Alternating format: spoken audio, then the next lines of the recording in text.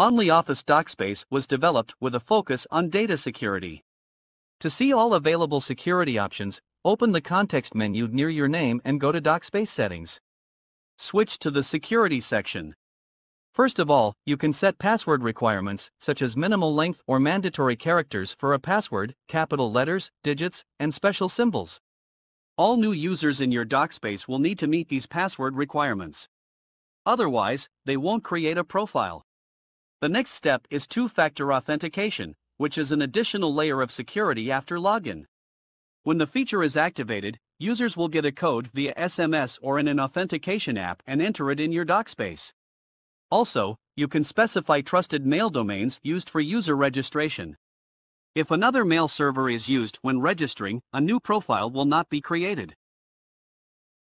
The next feature is IP restriction, which is used to prohibit login to the space from all IP addresses except the specified ones. If you're not a space owner, make sure to enter your IP address first, or you'll lose access to the DocSpace right after the new settings are applied. Sometimes people may experience troubles while accessing your DocSpace. Enable administrator message settings to display a contact form on the login page. Now your users can contact admins for help. Session lifetime allows to set time in minutes before users will need to enter their login credentials again in order to access your DocSpace. Monitoring the latest login activity is crucial for identifying possible brute force attacks.